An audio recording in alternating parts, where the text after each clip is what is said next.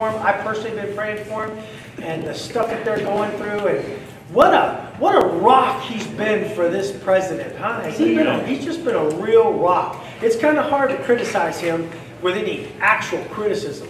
So um, let me see here. Justin, you feel like starting us off with a word of prayer? Ah, great. Thank you. Go ahead. Father, we come before you just to thank you for allowing us to be here today. Lord, I uh,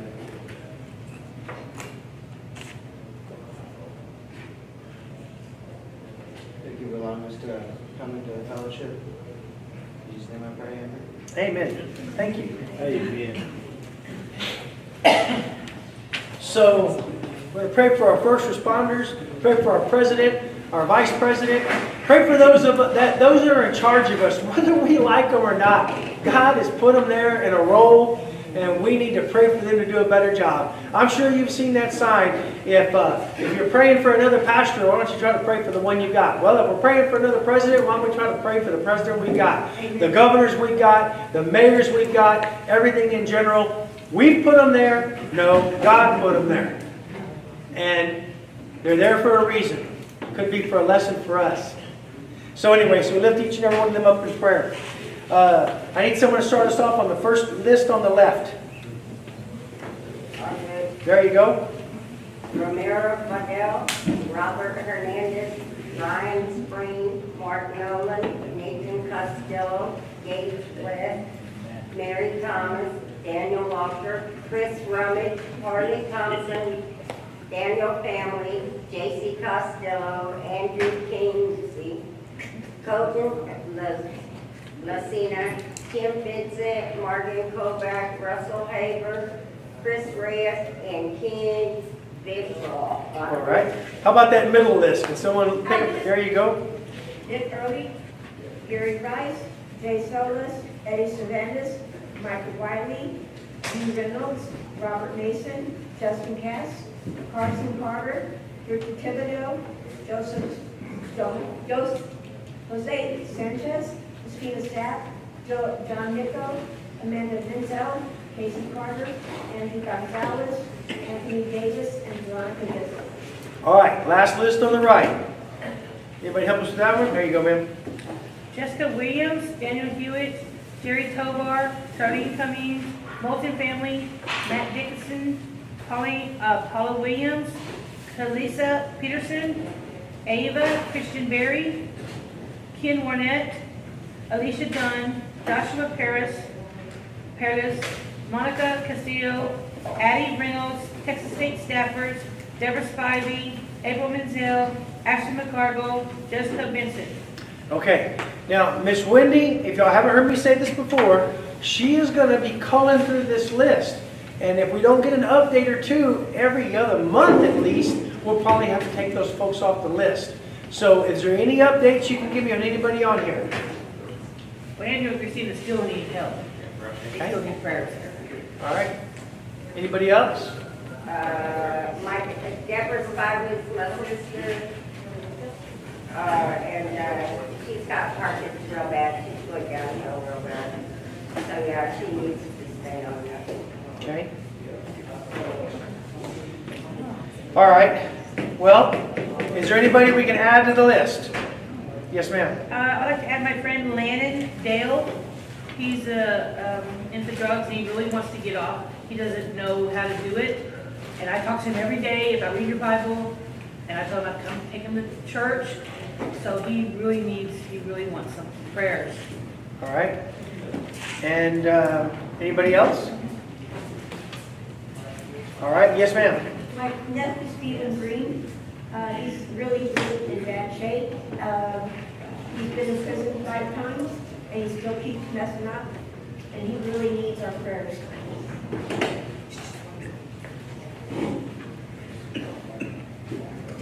Okay. All right. Uh, anybody we can take off the list? Okay. Um, I, I personally want to want to make sure that we keep Tim Vincent, Morgan Kovath, and Jessica Vincent on there for exactly what it's there for, uh, spiritual warfare. All, all, all three. All right, I, I, I need someone to uh, lift this, this list up, this uh, spiritual guidance list up in- in prayer, please. Go ahead. Heavenly Father, we come to you tonight just to praise your holy name. How we love you, Father, and we thank you that you've chosen to love us, that you chose to die for us, that you chose to forgive us. Oh, how we love you, Father. How we pray that each one of us has the ability and the willingness to live our life based upon your foundation.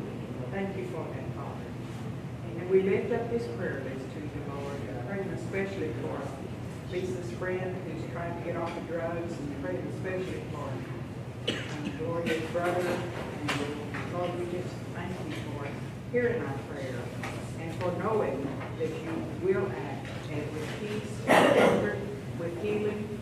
And we also know, Lord, that you're using these issues in these lives, just like you do our issues, to draw us closer to you and to form a close relationship with. Oh, we thank you, Father, for saying this.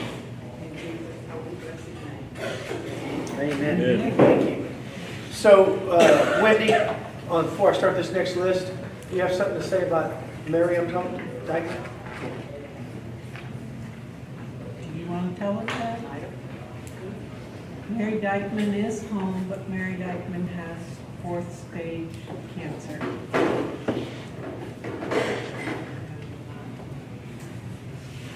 Say that again. Mary Mary Dykeman has fourth stage cancer. She is at home. Has there been any kind of time or anything we've been It's gonna start radiation, start chemo, and. Should be starting chemo and radiation both When with a they weekend took the out. tumor out, they got the tumor out, but there's a lot of little spiders that are, it's such an aggressive. Um, Okay, so we're gonna keep Mary in our prayers. She's been a, She's on the list. oh, yes. She, she, she's been a, a, a shared time between here and, and the church down the road for many years. So, okay, so we'll start this list off. I need someone to read the list on the left, starting off with Monica Rebellos. I did. Okay, Monica Robellis, Kobe, Bartha, Morris, Bud, Janet, uh, Sue, Laura Goodall, Julie Johnson, Kendra, Malia, Charlotte Simmons, Jimmy Graff, uh, Jim Hanscake, Nicole Coleman, Kirk McBride, Raphael Alejandro, he's still going under treatment, James Green, Jocelyn Nottaway, whatever, Logan Garrett, Veronica Costello, Brad Ring. okay. And That's, the last name is I'll read Nowotny. Okay, that, that last name is Nowotny. No. All right, uh, can I get I'm someone to sorry, pick up? Neil, go ahead. Finish the list, Neil. All right. Sharon Starks, Jim Cootsey, Blake Eckerman, Mark Simpson, Maria Schaefer, Rob Messenger, Henry Luna, Patricia Brown, Sasa Gerald, Don Miller, Juan Marnez, uh, Reyna Reagan, Jennifer Vasquez, Wanda Jansen, Michelle Garza, Bob Eckerman, Shannon Navarro, Gail Carlisle, Carrie Beaver, Sherry Bray, Doug De- Deere, uh, Barbara Acquire, uh, Natalie, Wanda Kasem, Kasem, Larry Hanner, and Mary Diamond. All right, so there's Mary on that list. Well, There's a meal train for Mary set up, so if she wants to sign up for a. So, so uh, the church has set up a meal train for Mary Dykeman, which just means if you want to sign up and pre- and prepare a meal, they'll give you a date, you can prepare a meal for her. So little things like preparing a meal she doesn't have to worry about when she gets into that therapy. So i- if anybody's interested in signing up for that, and look, you might not have time for stuff. You could run up and get her a little box of chicken or something, you know? Is- it- Would would it be for two or just for her? It'd be for two, right? Two. So it- it'd be for her and Ashley McCargall. No pork, Huh? no pork. Yeah, no pork. All right. Well, um, who can we, uh, does anybody want to discuss anybody on that list? Yes, ma'am. Uh, my son Mark Simpson had the biopsy on his cancer yesterday, and, uh, he, he's feeling great today. He said he wasn't feeling real good today of the biopsy, but he's feeling okay. And the next step then is, as soon as COVID allows, they will schedule some surgery. So I'd appreciate if we could keep him on. Absolutely. I'm not on that list, but I had a biopsy and they blotched it, so I got to have one done. Okay, So I'm still waiting to hear. all right.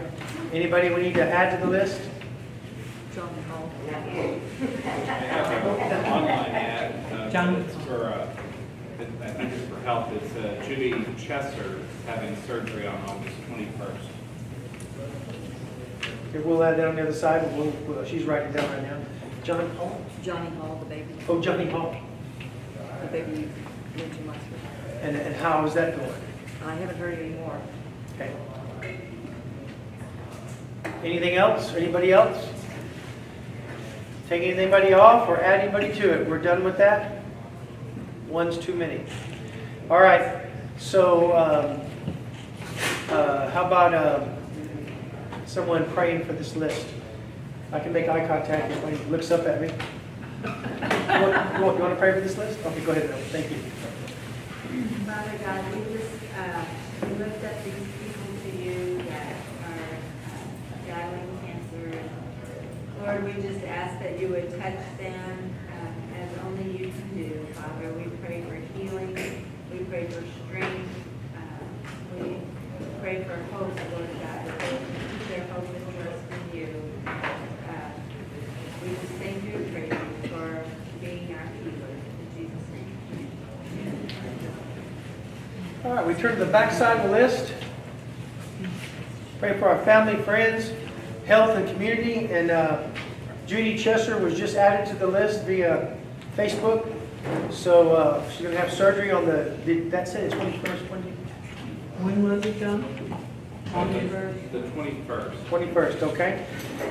Okay, so we start out with Helen Fiddler and family. We've mentioned her and Bill uh, had an accident yesterday. Brian Hogan, Glenn Fitzgerald, Sherry Taggart, Tim Taggart, Kathy and Tony Cabayan, Connie Client, Chris Flores, Faith's grandmother, Ellen Cooper, Addie La Lahudney, Matt McCucumber, boy, these are some tough names. Glenda Hanner, Rex Fletcher, Gloria Rodriguez, Timothy Amaya, Alexis Bingham, Chelsea Craddock, Orville Johnson, Jim Boyd, Alice McHugh, Pam Hollingsworth, South Texas Pregnancy Center, Mike Gonzalez and family, Tristan, Cheryl Davis, Danny Reyes, Crystal Hanner, Marty Bobish, Bill Phillip, well, we can take Bill off the list. Dale Gunn, he's uh, still without his eyesight and not much hope. But we still have God and he's a mighty God, so continue to pray for him. Laura Summers, David Summers, Deborah Phillips, Cecil Popham, Mr. and Mrs. Milstead, Patty Milstead, Melissa Slagle, Robert Slagle, and Robert Slagle back. Robert, that's both you, right? No, No. Robert A. Slagle is my nephew, and he's been, he's been battling something for months, and the doctors still haven't figured it out. Um, It's not COVID, he's been pet- tested five times now, because each time he has to go get x-rays or a procedure, they have to. So just keep him in your prayers that they figure out what's going on, because he can't walk two blocks and he's out of breath. And I mean, he's not even thirty years old. Um, I have a cousin I need to add to the list. Okay, His name's Jeff Spivey. He's from uh, Houston, and he's suffering from diabetes real bad. and They don't expect him to live very much longer. Uh, Diabetes and he was a drug user, so it was kind of hard for him. Uh, He lost his mother recently, so if we could add him to the list, he's been fighting the devil most of his life. absolutely. And wasn't this Alexis right here this evening with us, so she's doing good. Bingham, you take her off. I would like to add Scott and Pam Massey and family. Now, who is that? Anybody know who that is? That is Jenny Holcomb's mom and dad. Okay, and they're used to be members of the church, but they moved up to Washington seven years ago. Three or three years before that, they moved down to Kingsville for a job, and now uh, they're back here in Seguin, and they're probably going to start coming back here. But I like to lift them up in prayer for just a couple of weeks. His family just they've gotten back safely. They need to make one more trip up there, bring a few more things in another car. Uh, I forgot to call my brothers here at church to help them, help us un, unpack them and, and, and move them out of the U-Haul van. But Sherry helped yesterday, and one of my men that worked for me and myself, and they had two boys help. So we got it done. Uh, luckily, it wasn't hot. It's about 100 degrees. but I'm in that every day. Yes, ma'am. Kathy and Tony Kavicki, take them. Okay. Kathy, But again, if we could just lift up Pam and, and Scott Massey and, and, uh, and family for, just, just for moving in and getting themselves straightened out. And if they plug themselves back in here at this church, they're going to be tremendous assets. If they go back to another, if they go to another church closer to their home, which is over at Interstate 10 and 46, of course that's understandable.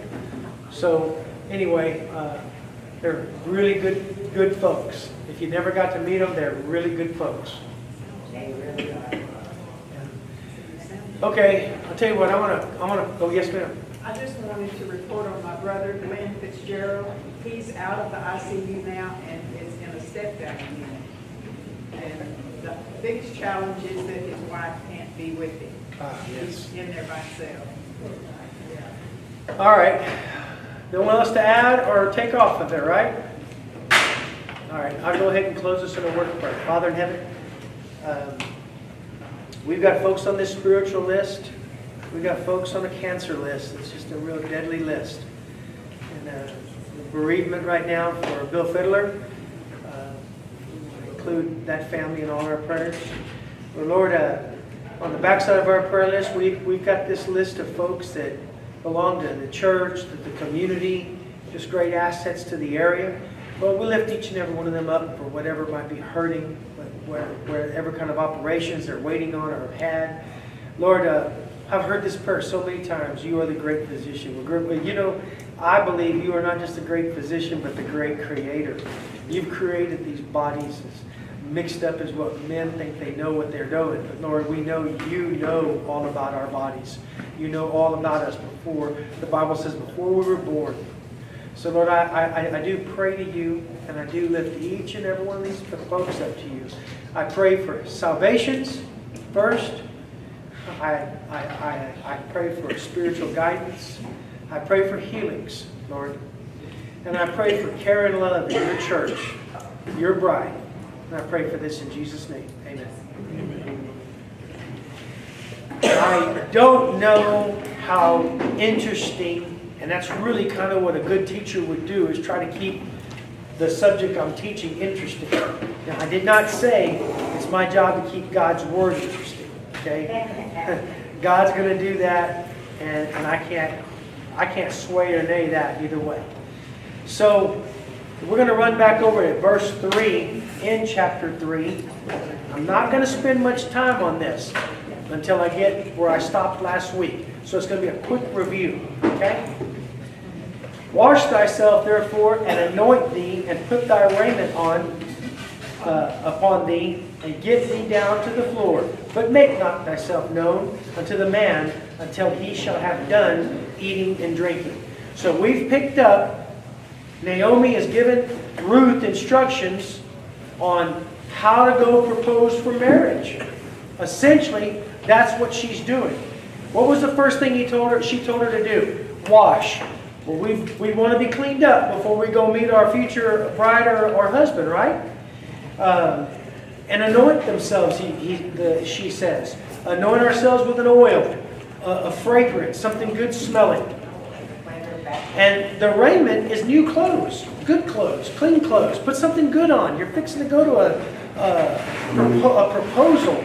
You don't want to be in those garden clothes and those field workers' clothes. And she says, But don't make thyself known unto the man until he hath done. Now, if you listened to me the week before, I told you, what is going on right here? He's not king of the harvest. He's head of the harvest of his area. That's true. But at, uh, the, the, the Levitical law said that every time that you have a set of crops come in for the season, we're going to have a feast. We're going to have a party. You see, we should know that. Remember I said that before? We should know that. Why should we know it?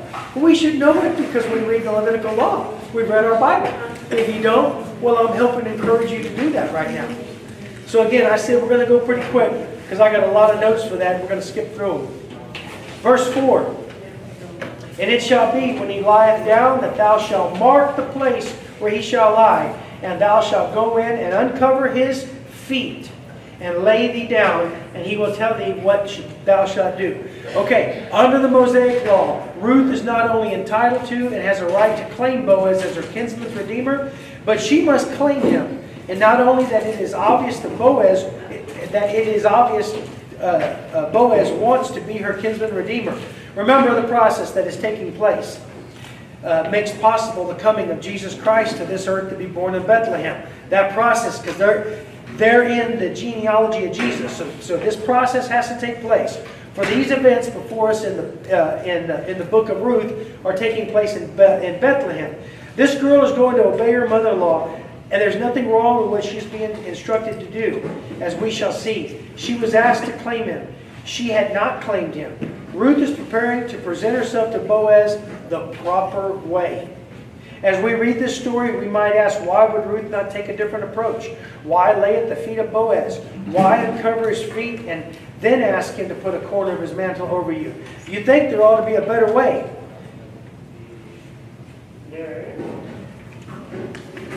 I mean, now. But had Ruth used another approach, remember, you're talking about a godly man here. You're talking about a man that knows the, the, the Levitical process. All right? Boaz would have been confused and the entire effort would have failed. Boaz knew the way he should be approached by his kin, all proper and clean, and Ruth did not disappoint him or herself or her God. The picture the Bible is painting is for us uh, is simple but proper. The Old Testament priests knew how to approach God. He gave them instructions in the law. New Testament Christians know how to approach God because in the Word He has told us what is required. Real quickly, in Hebrews chapter 10, 19 through 25, I have to go to this right here. I wasn't going to do it, but I have to. This is too important. Hebrews 10, starting in 19 through 25.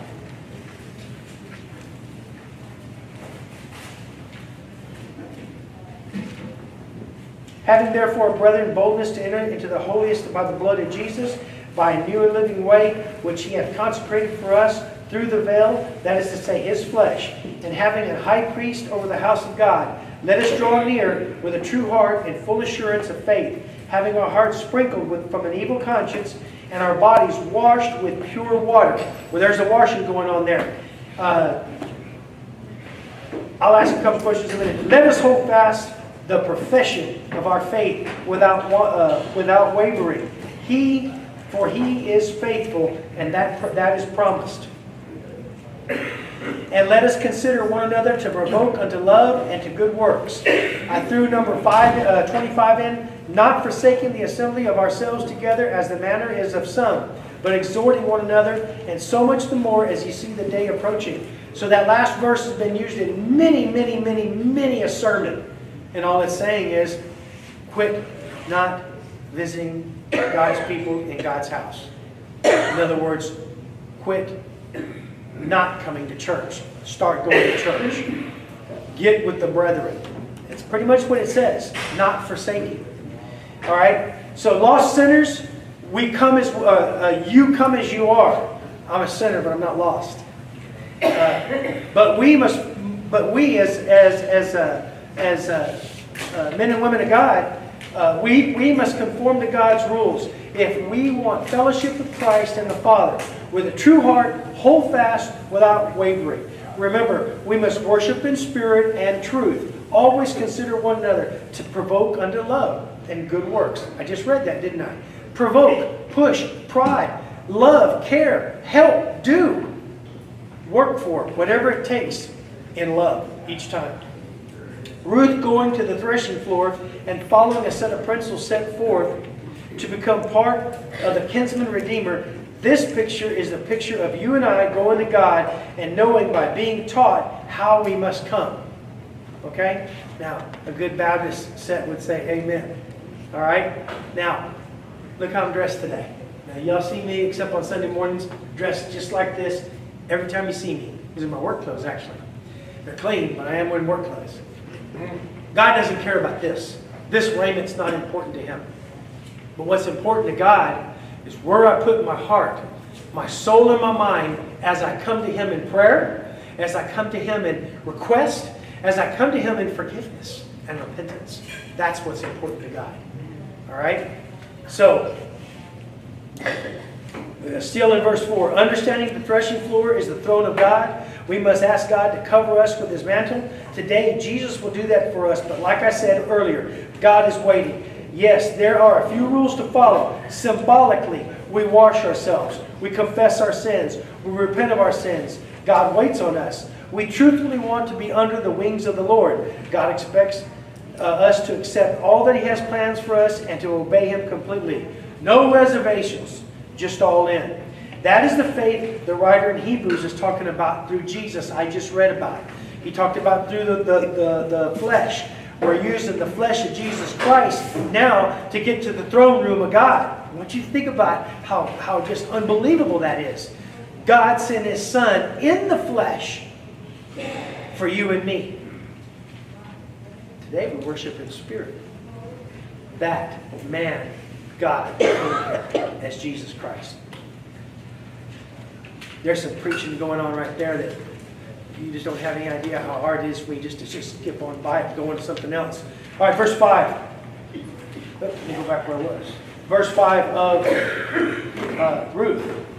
I'm trying to get back in that habit of saying that completely. And she said unto her, All that thou sayest to me, I will do. So Ruth is saying, I'll follow these directions. And Ruth went down unto the floor and did according all that her mother had bade her to do, had asked her to do. Verse 7 And when Boaz had eaten and drunk, and his heart was merry, he went to lie down at the end of the heap of corn. And she came softly, uncovered his feet, and laid down. Around midnight, uh, let me let me get back. And it came to pass at midnight that the man was afraid and turned into and turned himself, and behold, a woman lay at his feet. Around midnight, Boaz was startled. The King James says afraid. Boaz looks down, and what is or who is this but a woman laying at his feet? So it's dark enough that he doesn't know who she is. She didn't say, hey, I'm getting under the mantle of, uh, of your apron, of your skirt here. It's Ruth. Don't kick me. Don't hit me or nothing. She, he, she did what was proper. Just snuck under the corner of his mantle. And I have to emphasize this. If you didn't hear me say this the other day, there's a movie called Ruth. And it's a fine movie. But at this particular juncture, in that movie, Sherry and I sat and watched, He's leaning up against the side, sleeping, and instead of her getting down there, she gets up next to him. And after he figures out who it is, he's got his arm around her and they're kind of like cuddling. That's not how it happened. The Bible doesn't say nothing about that. We're going to finish this out. She stayed at his feet till morning. Can that be any more cool, proper, loving, following the rules? Just exactly how. Why did, why did she lay his feet? Well, because if she laid it, if she laid anywhere else, Boaz wouldn't understand what she's there for. That's what I read. See, the tradition is she gets under his feet. There's no sexual misconduct and none to be had at his feet. That's why it's so important to say those words. All right? Clean, beautiful, loving, exactly as this proposal should be. Oh, I could add to that so much. Verse 9, and he said, Who art thou? And she answered, I am Ruth, thine handmaid. Spread therefore thy skirt over mine handmaid, for thou art a near kinsman. Well, she, he knows she, she's a near kinsman herself. He, that's known. But now she's put everything out. Not just, hey, I want to be laying at your feet. I'm a near kinsman. All right? I'm requesting marriage proposal. That's what she's doing. And she's asking him to be her what? Use the word for me, someone. Absolutely, her redeemer. All right? The picture here is so dark, Boaz does not recognize Ruth. Who art thou? I am Ruth, the handser- handmaid. Uh, spread therefore thy skirt over thy handmaid, for thou art a. I got my little a right here marked down. A near kinsman. Okay? You've got to be a near kinsman, but he's a. That- That's now we know something else about to happen because there's more than one. All right? We know Boaz is second in line because we know the story. But she knows that too by saying, I'm a, not I'm your, I'm the, I'm your only, I'm a near kinsman. Do you know what Ruth is saying? I want you as my kinsman redeemer, and I want to tell you so. That really changed the thinking of Boaz. The picture here is we so to uh, uh, is we go to the feet of Jesus and ask for forgiveness. We must recognize we are sinners. We must want to repent. We want a new life in Christ. Now, there's no repentance for her, for her to him. That's not what's going on there. All right. Uh, Ruth Ruth did not come to Boaz fields husband hunting. Now she is claiming Boaz as her kinsman redeemer, and it looks and sounds like he is not reluctant to act in that capacity. Ruth is doing it in such a beautiful fashion. Ruth could have taken Boaz to court. What? Remember when I started out about the Levitical laws back there in uh, Leviticus 25? Y'all remember going over 28? We went over this. There's a set of rules to follow. There's a set of rules to follow if the near kinsman doesn't do his job. But you know what? Ruth loved Boaz. She didn't want nothing forced on him. And she had to have it explained to her by Naomi. Uh, remember, the, uh, but, but that would require and be a legal matter, forcing Boaz to make a decision. But here Boaz obviously wants to be Ruth's kinsman redeemer. Here all Ruth had to do was let Boaz know Ruth wanted Boaz as her kinsman redeemer. What could Boaz have said? Hey, uh-uh, get out from under my skirt. No, that's not what I'm off. No. But Ruth, Ruth, Ruth wasn't told no. We know Boaz loved Ruth. All right? Ruth goes down to the threshing floor and in this very quiet, modest way, let Boaz know she wants him as her kinsman redeemer. Verse 10, And he said, Blessed be thou of, of the Lord my daughter, for thou hast showed more kindness in the latter end than at the beginning, inasmuch as much as thou followest not young men, whether rich or poor. I normally would break away from that, but I wrote something here I want us to read. Boaz immediately wants to claim her as his wife. How did I get that? Watch. Inasmuch as much as thou followest not young men, whether rich or poor, poor. Boaz is saying, Wow, you had a choice. And you picked me. I would reckon he's in his 40s and maybe early 50s. I would reckon she's in her mid to late 20s. All right? She probably could have had a good looking woman that the Bible says she is, probably could have had a pick of a bunch of men. And he could have had a pick of many a woman. But God had him wait for a reason. What a wonderful, warm experience it is to know that we have a Savior who died for us, who loves us, and lives for us today. All we have to do to be, uh, to be redeemed is go to the threshing room floor. Now, I'm, I'm, I'm using the, the, the, the symbol of the threshing room floor as the throne of God. How do you get to the throne of God? Right here. Oh, right here. And you ask the Lord to forgive you. You get on your hands and knees. Lay down at night when you're talking to the Lord. I hope you do talk to Him at night. Whatever it takes. Talk to God.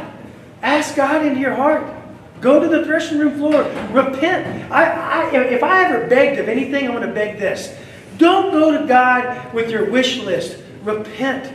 Tell Him, Lord, I know what I've done wrong. You know what I've done wrong, but let me tell you. Let me tell you what I was thinking. Let me tell you what I thought and I said. Let, let, let me tell you the vileness of my real heart, Lord. He knows it already. But that's what we got to do first. In verse 11, and now, my daughter, again, my daughter, a term of endearment, fear not. He, he could have said, now, now look, I, I appreciate this and everything, but uh-uh. Instead he says, fear not, my daughter. I will do to thee all thou requirest. all that the kinsman redeemer's rules that I'm supposed to follow, I'm going to do it. I'm going to take care of you. For all the city of the people doth know that thou art a virtuous woman. Everything that's been brought back to the public square, everything that's been brought to the city gates where the elders are at, everything that's been talked about since Ruth and Naomi have been there. You know what it's all been about? And that's a good woman. That's a caring woman. That's a sweet woman. That woman is taking care of Naomi. That woman has been grafted into our true living God. That's a that is a that woman right there is an asset to our community. That's the stuff that was being brought back about Ruth, not anything else. And again, I've said this before, not the ways of the, of the Moabite woman and all the women that are Moabites. Not the people that God called my washpot. No, this woman here is a different woman. This woman's special.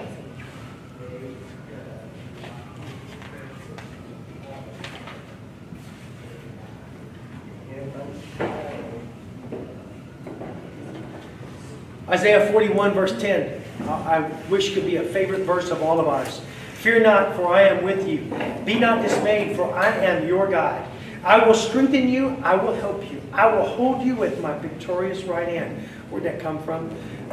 That's the picture Boaz has given Ruth. But that's also the picture God gives us. In verse 11, uh, another virtuous woman. All the rumors were true. Uh, Ruth had a relationship with the true living God. And again, not once have we heard how Ruth was afraid. Ruth was more than a virtuous woman. She was strong. Ruth was fearless. Ruth was good and godly in all she did, including the proposal of marriage. In verse 12, and now it is true that I am thy near kinsman. Howbeit there is a kinsman nearer than I. Boaz already knew one Redeemer was in front of him. He did his homework already. Boaz was ready. When Ruth asked, but there is business at hand Boaz must work on first. This other kinsman was probably Emlich's brother. First, I must see what he, this other kinsman, has in mind. Verse, and you know what? He's just laying the, the rules out. He's letting her know, I, I want you for my wife, but someone's in front of me. Now watch how it's put here in verse uh, 13. It says, tarry this night. You know what he just told her? Hang loose, stay here. He didn't say come up here and smooch and kiss with me. And I'm being pretty open with you here. He says, stay here at my feet. And it shall be in the morning that if he will perform unto thee the part of a kinsman, if this other guy will do the will, will, will do the job, well, the Bible says, well, let him do the kinsman's part. But if he will not do the part of a kinsman to thee, then I will do the part of the kinsman to thee. As the Lord liveth, lie down until the morning. So he's saying, I'm not swearing by the Lord, but as the Lord lives, I'm going to do my job. Hey, David, Yes. we see from that picture of Boaz and Ruth that Ruth made the, she, she, she went to him. The same way we go to Christ. He comes to us, but we go to him, and he expects us to go to him. But where does the kids, where does the other Redeemer fit into this picture? Do you, know? The- As far as our relationship with Christ and us coming to him, is that, does that involve us as Christians at all? Oh, absolutely. I, I, and that's a great question. I'll get to it, but I'm gonna, Okay. I'm gonna tease you with this right here. Well, right. He thought more of himself than what the Redeemer should be doing. He thought more of his inheritance, and I'll touch on that. All right, Boaz, uh, let me see here, verse 13. Pretty simple. I will ask of him if he will perform his duty. That is okay. Let him do his part. But if not, I got this. I want to be your Redeemer. As the Lord liveth, this is a promise. Stay here until morning. Now, I ask, do you think Boaz's mind was racing on how he's going to handle this? Verse 14. And she lay at his feet until the morning. Once again, she laid at his feet. Amen. Oh, every woman in here should be going, yeah, that's a virtuous woman. She laid at his feet. And she rose up before one, uh, before one could know. So it's still dark, but she gets up. And he said, let it not be known that a woman came to the floor. Now, what, what he's doing there is he's protecting Ruth's reputation. He's also, I think, protecting the thought that if this other kinsman knows he's, he's in love with her and he's already got some plans, well, the other kinsman, he could pull a fast one. He could do some bargaining, something that didn't need to be done. But I think more he was interested in Ruth's reputation. So, That was the law. say it again? That was the law and tradition of the Jewish nation. Would that really have affected her reputation? Well, well, now watch. Okay. Okay? It's he and she and nobody else. Dawn comes, people are coming to the fields, she's getting up with straw on herself, she's getting herself cleaned up and walking out. What are people going to think? Now, down the road they may know, well, there was a proposal going on, but the Bible shows us that it was the act as it should be. And I think, I think Boaz was just, again, protecting her. Uh, in verse 15, and he said, Bring the veil that thou hast upon thee, and hold it. And when she held it, he measured six measures of barley and laid it on her, and she went into the city. I've seen this report being six uh, uh, uh, ephels, which is uh, one by one, square. There's no way. It's too heavy, too much, and the thing would, would probably tear with that much weight. But whatever she was wearing as a scarf of some type, he filled it up. He filled it up for a mother-in-law gift. And I might also say, he probably gave her as much as she could carry. In verse 16, and when she came to her mother-in-law, she said, Who art thou? This is, this is more stuff that I, I, I, I've had to read and understand. I've passed right by it when I've read it before. And when she came to her mother-in-law, she said, Who art thou, my daughter? My Bible says question mark. Okay? And she told her all the man had done to her. So who art thou? Was it dark? Was it dark that Naomi couldn't recognize her own daughter-in-law? Why stop? Why stop at the door? Why did or why would she need to knock? Was Naomi not sure who Ruth was? Maybe. Naomi was asking Ruth, "Is this Mrs. Boaz at my door, or is it still just Ruth?" We laugh at the remark, but I think Naomi knew it was if Ruth followed the instructions she gave her, there will soon be a wedding. Okay? So maybe there was a little humor. Who is this? Is this the Mrs. Boaz? Or are you still Ruth? Did it not work? Okay? Verse 17.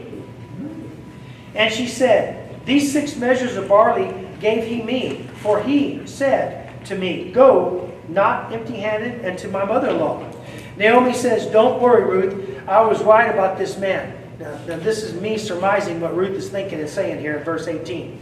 Uh, I, I was right about this man. He'll, he'll be busy getting all his Redeemer stuff in order. Now, this now, the work of the redemption is up to Boaz to complete.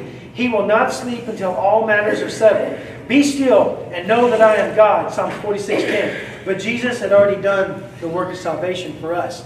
You know, go back to this, this, this thought. So, now, let's flip the deal and we're pre-crucifixion. All right? We're waiting for Jesus. All through the Old Testament. Again, if you've read it, and I hope we have, and we can go over a lot of stuff, Jesus is coming. We get into Matthew, Mark, Luke, and John in the New Testament, Jesus comes. Jesus walks on the earth for three and a half years, and he's crucified. All right? We were waiting. Boaz uh, is, has a job to do, and the Lord had a job to do. There, there was a long wait. There's no doubt about that. We tarry right now. I love that word. We wait right now. What do we wait for? We're waiting for the sign from the east. Remember that, okay? We wait for the sign from the east when Jesus will come and the word rapture will be used every day after that because they'll say they was raptured out of here. And that's you and me that call on the Lord. And that will happen. And he'll come from the east. And there's more to that story. Uh, I am going to run to, I'm still in 18.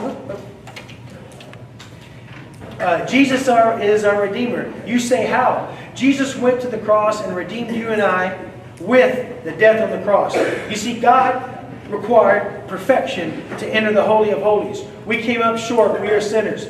God gave His Son for you and I at Jesus' death. We are redeemed and made perfect in Christ.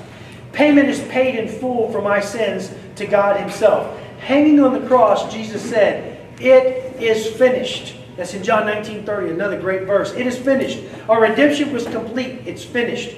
We cannot help Jesus. It's like Ruth can't help Boaz. She's got to sit still and wait.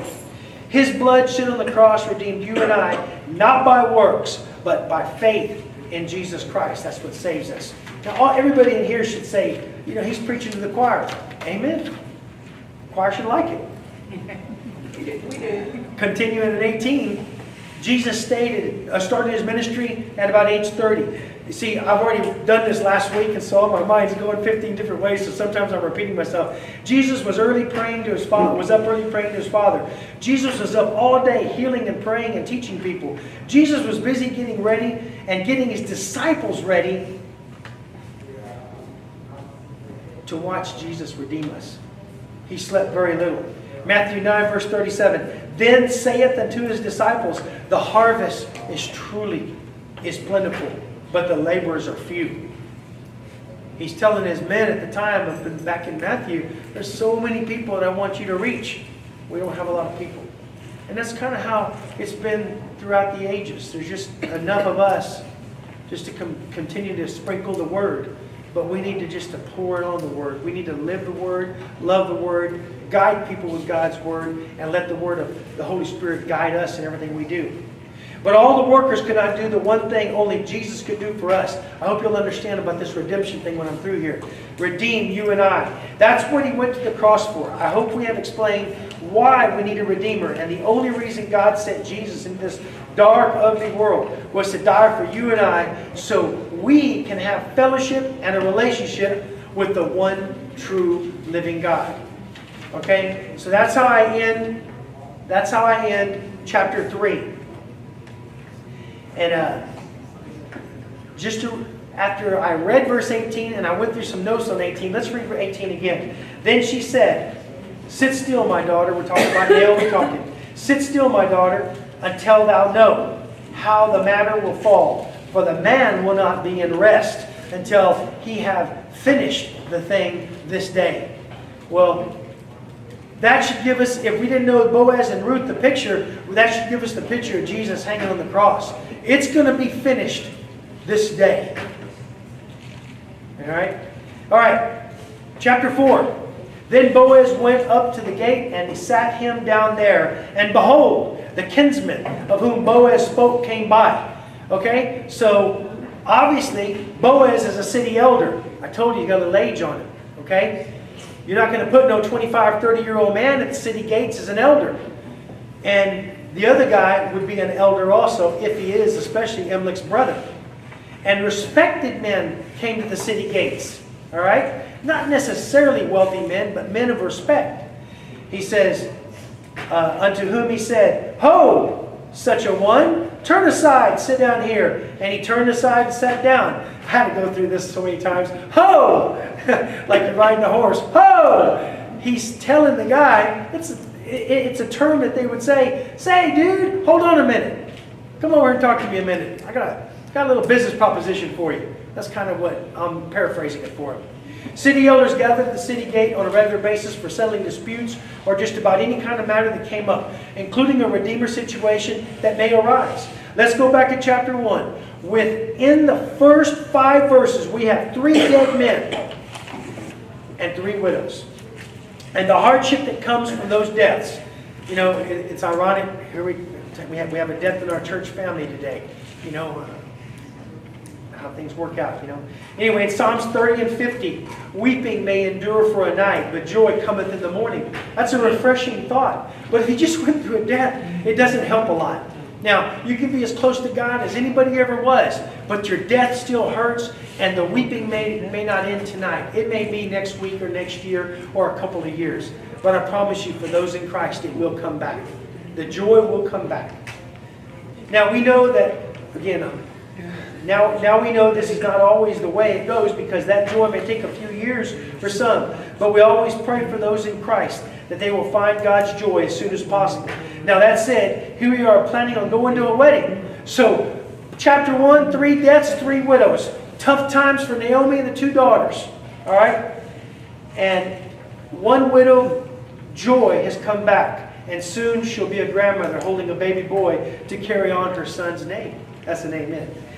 One widow about to be married to a man God has waited on for his first real love. He's waiting on God for his first real love. And one widow we've heard no more of. Anybody think I don't enjoy putting these notes together? I love this stuff. Well, good, I stuff that needs to be put together. By the time I get done, it doesn't look like a tornado been through there. We're still in verse 1. The word redeemed means, hear the whole sentence, to be set free by paying a price. All right? I hope you see that picture.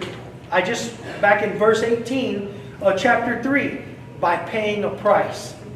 As I mentioned earlier, at some point in time, Imlich's, property had been sold and the rights had been passed on to Ruth's husband. Ruth was all that is left to his name. Okay? So I said earlier, uh, why? I asked y'all this question. I wanted y'all to, to dwell on it. Why does she need a redeemer? Because that family has land. That family has property. And it's hers. But someone needs to go pop, buy it back for her. All right? Now, I already said Ruth wasn't husband hunting. But this man is capable of redeeming her. All right? They also needed a a son. Uh, Pat, Go to, uh, excuse me, ma'am, go to Mark 10, verse 45. Uh, Robert, go to John 8, verse 36. Yeah, real quickly, please. Spiritual redemption is needed because all people are in bondage to sin and Satan and unable to set themselves free. You'll understand that? You can try all you want. She mentioned someone about is in some bad stuff right now. Okay? You can try with all the will you want. God can set you free. He can take the nicotine, the nicotine addiction away, the alcoholic addiction away, the drug addiction. Nobody else can. And, and, and, and those few people that are able to kick it on their own, they're still dependent on something. Did you find Mark? Uh, okay, hold on. So, Jesus gave his life as a ransom for sinners. All right? In Mark 10, verse 45, I'm not going to chase it. Watch this verse. For even the Son of Man did not come served, but and to give his life a ransom for many. Okay? And he came to serve, not be served, and he gave his life a ransom for many. Now, I always have looked at that verse, and I, we actually studied Mark here. And I, and I used to, I, I looked at that verse and I used to say something like, uh, why didn't he give it for all? Well, he did, if they'll all accept. But only a few are going to accept. Uh, John 8. Here's another verse we should have just memorized. John 8, 36. If the Son therefore shall make you free, ye shall be free indeed. Free indeed. So, free from what? Well, in, in John 8, we're talking about free from the bondage of sin, and, and free, the freedom you have now is straight access to God through Jesus Christ. That's the freedom that we have now. All right? And He did it to anybody that'll call on the name of Jesus Christ. So, it says many. I wish it said all. A redeemer had to be a near kinsman to redeem. Now, watch this. He had to be a near kinsman. Do you know why we tell the story? Do you know why we tell the story that Jesus Christ came and was born a virgin and he lived here as a man for 30 years and three and a half years of a ministry after that? Do you know why we have to say that? Because what we're talking about right now. Because for him, a kinsman redeemer to redeem, they got to be kin. They got to be blood.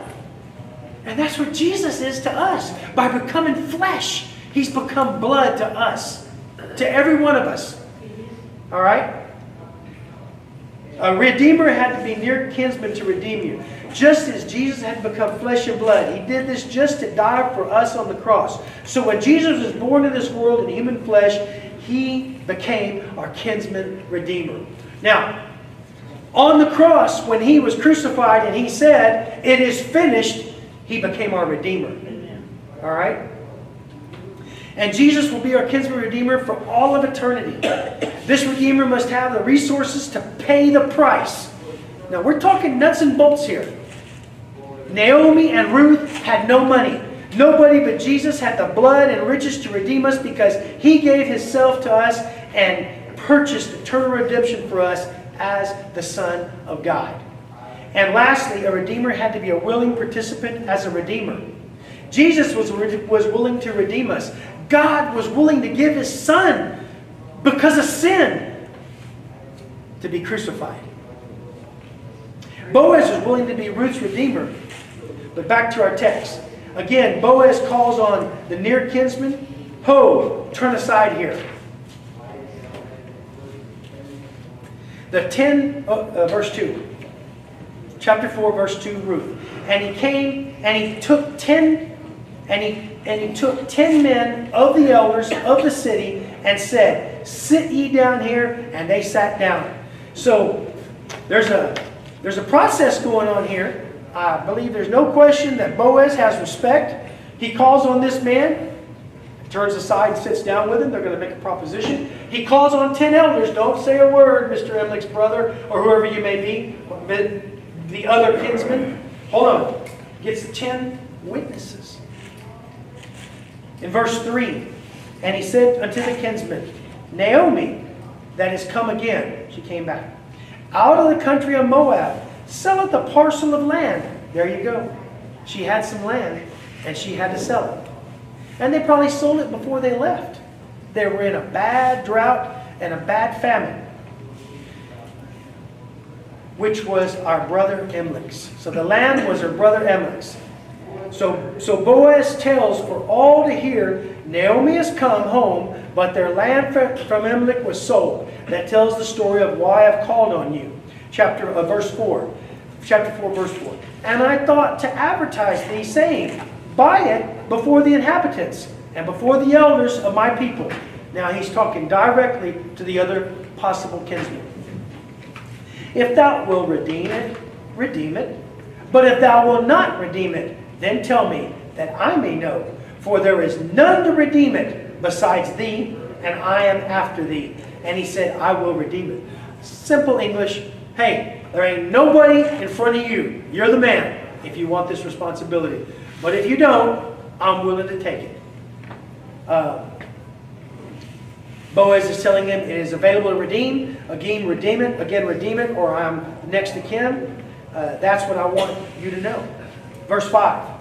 Then Boaz said, What day? I think this guy is pretty, pretty, pretty crafty. Then Boaz said, What day thou buyest the field of the hand of Naomi, thou must buy it also of Ruth the Moabitess, the wife of the dead, to raise up the name of the dead upon his inheritance. See, he didn't just say, you, you need to buy it from, from Ruth also. He threw in the obligation the obligation was to raise up a name so his name goes on in, in, in the land of Israel. So Boaz left this fellow out, uh, met this fellow in on the redemption of Naomi. Then he let the proverbial uh, shoe drop. By the way, the kicker thrown in is that wife of the dead goes along with all your stuff. Go, goes along and all your stuff. I wrote this note. Uh, first of all, I couldn't spell proverbial. I called Sherry and I couldn't pronounce it for four or five different times. And Siri couldn't understand how, what I was asking either. But anyway, we got it down. And then just now when I read it, wow, how, how did I read it so easy after having all that trouble trying to put that word together?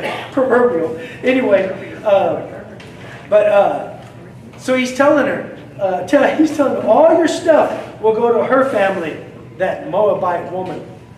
Now, and the kinsman said, I mean, there's there's no hesitating. And the kinsman said, I cannot redeem it for myself, lest I mar mine own inheritance. Redeem thou my, my right to thyself, for I cannot redeem it. Now you see there? He doesn't want to redeem it because what I said also. Because his inheritance is put in jeopardy. Now I'm going to give you a definition of mar. I thought, kind of a strange word. Again, it's in the King James, but it's not really a word uh, I, that I would use. Uh, oh, I didn't bring my other note. I'm sorry. I'll have to go off memory. Ah, I got one of them. So, the word mar, literally means to scar, to ruin. That's the biggest part of that word. And, and, and you can just look at, think of the other uh, words that go with it. But he's saying, if I redeem Ruth along with it, oh my gosh, I'm going to ruin my name. I'm going to ruin my stuff. My, my own sons, they're not going to get, my, get, get their stuff because I'm bringing up this woman's own son. And that is the, that is the law. I have to do it. He didn't even think twice about it. Forget it. I love to own that piece of land. I love to help you with this Redeemer deal. I'm not going to do it. And so that left the door wide open for, for Boaz. All right? We're going to stop right there. That was perfect timing, Wendy. Wendy, aren't you happy with me?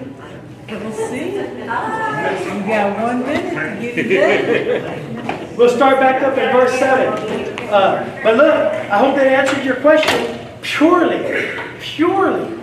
What if Jesus said, I don't want to hang on that cross? If I hang on that cross, guess what?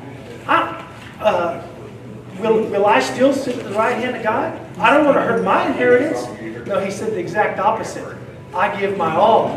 Amen. All right. Thank y'all for being here. Thank y'all for listening. Thank you for uh, letting, letting me go back over chapter 3. Uh, Marge, you, you heard it. I, I cut all of it short, did I? But uh, anyway, chapter 3 uh, was, was, was a great book. We're, we're going to be through next week. But there's some mighty interesting topics to go over uh, the, the genealogy that we're going to see here. Okay? I hope y'all enjoyed this study. I really do. Uh, I, I, thought it was a woman study. That is not true. This is a great Bible study. So anyway, uh, John, would you close us in a word of prayer? Sure. Father in heaven, we thank you for this message that you brought us through today tonight. We just ask that you would uh, help us remember as we go about our daily lives. We, we do thank you for all this time that we get to spend together. We thank you that we can assemble in your name, and we thank you that we have uh, this time of fellowship. We ask for your protection and guidance and direction and wisdom, and knowledge, discernment, and understanding in the week ahead, the rest of the week, through the weekend. And we just lift up those who have gone ahead of us. And, you know, we lift up their families to you. We Again, I want to lift up uh, Mary to you especially, and also just the families of, of uh, those who have gone before us. We thank you so much for all your many blessings. In the name of Jesus. Amen. Amen. Okay, so read your Constitution and read your Bible. There's a lot of stuff that goes hand in hand. You'll enjoy it. What